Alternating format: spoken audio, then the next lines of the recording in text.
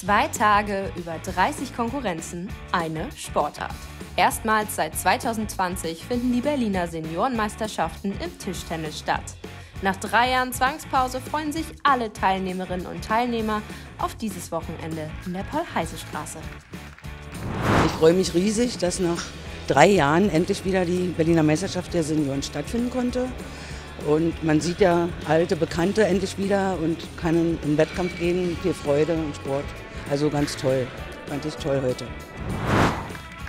Aber natürlich steht der Sport im Mittelpunkt und da ist die Freude beim Ausrichter vom Olympischen SC besonders groß.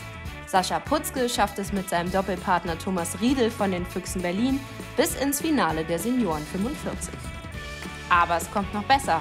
Rainer Ritter sichert sich den Titel bei den Senioren 60 und setzt sich im Endspiel gegen Wolfgang Soluk vom SC Siemensstadt durch. Ja, das bedeutet mir eine Menge, weil ich weiß, wie viel Engagement und Arbeit hier von vielen Freiwilligen äh, in die äh, Vorbereitung und Durchführung der Veranstaltung investiert wird. Deshalb freue ich mich natürlich ganz besonders, dass der ausrichtende Verein dann eben auch äh, in Teilen auch Erfolge einfahren kann. Nina Priebe vom TTC Neukölln darf gleich zweimal feiern. Sie gewinnt nicht nur die Einzelkonkurrenz der Damen 40, sondern auch die Doppelkonkurrenz gemeinsam mit Berit Heik vom SV Berliner Brauerei. also die, der Plan war schon, die beiden äh, Titel zu holen. Aber dass es geklappt hat, ist natürlich umso schöner. Das Finale bei den Senioren 40 könnte spannender nicht sein.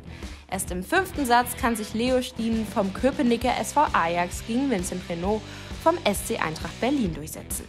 Für Stienen ist es die erste Teilnahme gewesen. Ja, das war ein super Finale, glaube ich. Ähm, starker Gegner, äh, auch ein, ein, großer Kämpfer so insgesamt, ähm, großer Kampfgeist. Und ähm, ja, ich wusste, ich muss jetzt einfach mein Bestes spielen, um überhaupt zu gewinnen noch. Und dann ähm, ja, habe ich immer an mich geglaubt und äh, das hat am Ende auch dann doch noch gereicht. Habe mich sehr gefreut. Dreimal Endspiel heißt es für Ines Dietrich vom SV Lichtenberg 47. Zuerst kann sie mit Silvia Thiele vom TTV Friedrichsfelde das Doppelfinale der Damen 60 gewinnen. Anschließend stehen sich beide im Endspiel der Einzelkonkurrenz gegenüber, welches Dietrich mit 3 zu 1 Sätzen für sich entscheiden kann. Zweimal Berliner Meisterin und Vizemeisterin im Mixed mit Gunther Gerlach.